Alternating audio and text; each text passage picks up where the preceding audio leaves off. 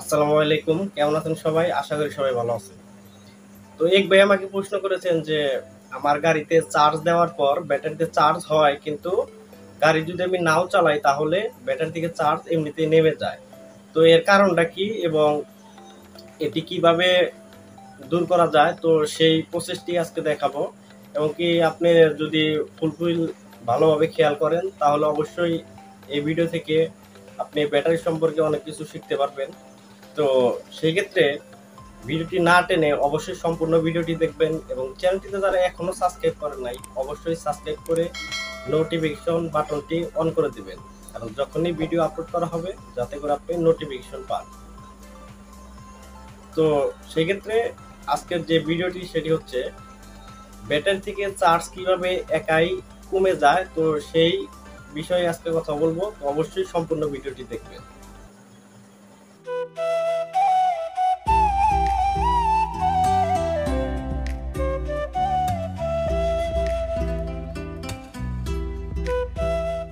তো ব্যাটারি থেকে চার্জ কমে যাওয়ার কিছু কারণ হচ্ছে, তো প্রথমত যেটি আপনাকে খেয়াল করতে হবে সেটি হচ্ছে আপনার ব্যাটারিটি কি আসলেই ভালো? যদি ব্যাটারিটি আসলে ভালো থাকে, তাহলে সেটির দিক হচ্ছে আলাদা, আর যদি আসলেই সেটি নষ্ট হয়ে যায়, তাহলে কিন্তু সেটি থেকে অটোমেটিকলি চার্জ চলে যাবে, সেটি কিন্তু কারণ। এখানে কোনো প্রকার রেস্টটা কোনো কারণ নেই। তো তারপরও যেহেতু যদি ব্যাটারিটি ভালো থাকে, তাহলে সেটি হচ্ছে একটু আলাদা বিষয়। কারণ ব্যাটারিটি যদি ভালো থাকে সেই বিষয়টি কিন্তু অবশ্যই একটু আলাদা হতে হবে। কারণ ব্যাটারিটি ভালো, কিন্তু চার্জ অটোমেটিক কমে যায়, তো সে বিষয়টা কিন্তু অবশ্যই একটু আলাদা। ব্যাটারিটি ভালো, কিন্তু তারপরেও চার্জ থাকে না, সেটির কারণটি কি?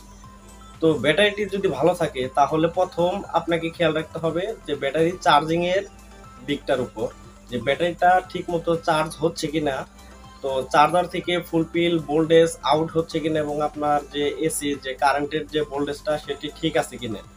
তো মোটামুটি কারেন্টের ভোল্টেজ যদি ঠিক থাকে, তাহলে আপনার প্রবলেমটা কি? তো কারেন্টের ভোল্টেজ আমার যদি ঠিক থাকে, তাহলে যে সমস্যা সেটি হচ্ছে আপনার যে গাড়ির যে চার্জারটি, সেই চার্জার থেকে যে আউটপুট ভোল্টেজ সেটি ষাট ভোল্ট অথবা আটচল্লিশ ভোল্ট সেটি বের হয় এবং এম্পিয়ারটা সম্ভবত কম অথবা ওভার হি ওভার এম্পিয়ারের কারণে কিন্তু ব্যাটারি চার্জ ভালো হয় না।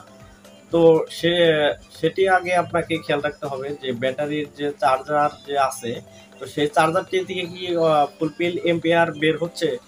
তো সেটি টেস্ট করার জন্য আপনি অন্য কারও কাছ থেকে একটি চার্জার একদিনের জন্য এবং কিছু টাইমের জন্য টেস্ট করার জন্য নিতে পারেন।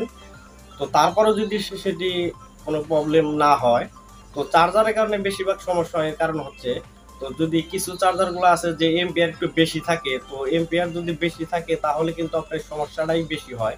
কারণ এম্পিয়ার বেশি থাকলে যেটি সমস্যা হয় সেটি হচ্ছে এম্পিয়ার বেশি থাকলে যেমন চার্জিং এর যে সময়সীমাটা, তো সেটি কিন্তু অর্ধেক না যাইতে যাইতে কিন্তু আপনার যে ফুল সিগন্যাল সেটি কিন্তু দেখাই দিবে এবং কি, যে ব্যাটারি কিন্তু হিট করে ফেলাবো, যে প্রচুর হিট গরম হয়ে যাবে, তো অতে করে বুঝবেন যে ব্যাটারি হয়তো চার্জ হয়েছে কিন্তু সেটি কিন্তু চার্জ হয় নাই। কারণ এম্পিয়ার বেশি হওয়ার কারণেই কিন্তু আপনার ব্যাটারিটা হিট হয়ে গেছে, সেখানে কিন্তু চার্জ হয় নাই। তো এটিও কিন্তু খেয়াল রাখতে হবে, আর একটি হচ্ছে লো এম্পিয়ার যদি চার্জারটিতে যদি কম এম্পিয়ার থাকে, তাহলে কিন্তু ব্যাটারি যত, যদি আপনি দশ ঘন্টাও চার্জে দিয়ে রাখেন, তাহলেও কিন্তু কোনো প্রকার কোনো চার্জ হবে না। তো যেমন আমাদের যে চার্জারের যে তিনটি বাতি একদম ফুল জ্বলে, সেটি ফুল সিগন্যালটি তো ফুল সিগন্যালটি হচ্ছে ষাট ভোল্ট অথবা আটচল্লিশ ভোল্ট হওয়ার সাথে সাথেই কিন্তু চার্জারে ফুল সিগন্যাল দেখাবে। তো যে ফুল সিগন্যালের যে কাটাটি, এটি কিন্তু আমাদের তিন ঘণ্টা, তিন থেকে চার ঘণ্টা যদি চার্জ হয়, তাতে কিন্তু ফুল সিগন্যাল কাজ করবে। তো সেটিও কিন্তু ব্যাটারি ফুল হচ্ছে না। তো এই বিষয়টি কিন্তু অবশ্যই একটু ভালোভাবে খেয়াল রাখতে হবে যে ব্যাটারিতে কি চার্জ হচ্ছে ঠিক মতো কিনা। তো ব্যাটারিতে চার্জ না থাকার মোস্ট কারণই হচ্ছে ব্যাটারিতে চার্জিং ভালো না হওয়ার কারণে। তো ওভার চার্জ এবং লো চার্জ দুটি হচ্ছে ব্যাটারির জন্য ক্ষতি। তো হাই পাওয়ার দিয়েও চার্জ দিলে বেশিক্ষণ থাকবে না এবং কি লো পাওয়ার দিয়ে চার্জ দিলে তো হবেই না। তো ব্যাটারির যে এম্পিয়ার আছে, সেই এম্পিয়ার একদম ফ্রিকোয়েন্সিতে যদি ভালো মিল থাকে, তাহলে কিন্তু আপনার যতটুকু চার্জ হবে সেটা হচ্ছে পিওরিটি চার্জ হবে। তো সেখানে কোনো প্রকার ঘাটতি থাকবে না। আর তারপরের যে কথাটি, সেটি হচ্ছে চার্জার প্লাস ভোল্টেজ সব কিছুই ঠিক আছে, তারপরেও কিন্তু ব্যাটারিতে চার্জ থাকে না এবং ব্যাটারির যে প্লেটগুলো আছে সেটিও ভালো আছে। তো সেটিও যদি ভালো থাকে, তো আপনার যে তারপরের যে কারণটি সেটি হচ্ছে ব্যাটারিতে যে অ্যাসিড পানিটি আছে, তো সেই অ্যাসিড পানির অ্যাসিড গ্যামাটিক নয়, কমে গেছে নয়, বেড়ে গেছে। তো বারোশো আশি যেখানে থাকার কথা, সেখানে যদি আপ ডাউন করে, তাহলে কিন্তু ব্যাটারিতে চার্জ ভালোভাবে ধরবে না। তো অবশ্যই ব্যাটারিটি গরম হয়ে যাবে। তো এই বিষয়টি একটু ভালোভাবে খেয়াল রাখবেন যে যদি এরকম কোনো সমস্যা হয়, তাহলে তারপর হচ্ছে আপনি অ্যাসিডটা টেস্ট করবেন যে অ্যাসিড কত আছে? সেটা যদি বারোশো আশি থাকে, তাহলে বেটার আর যদি না থাকে, তাহলে কম বেশি হয়, তাহলে সেটি অ্যাসিড মিক্সার করে সেটি কম বেশি করে নিতে হবে। তো এই কিছু দিকগুলো খেয়াল রাখলে আপনার সম্ভবত ব্যাটারিটি চার্জ থাকবে।